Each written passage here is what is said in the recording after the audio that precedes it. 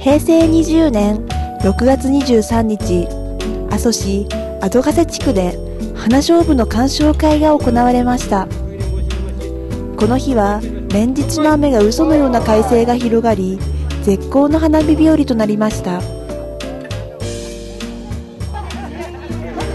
鑑賞会には地元の方々など約30名と佐藤義興市長も参加しバーベキューや煮物などを囲み団らんしました。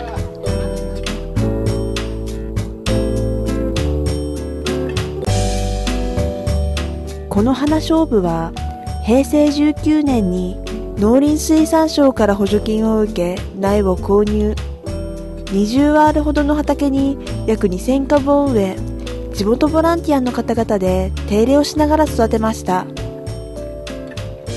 花勝負は約1週間が見頃です。